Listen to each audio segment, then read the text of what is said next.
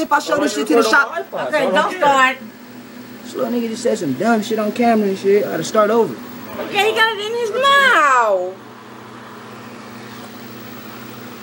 Get rid of that albino. No, that's my nigga.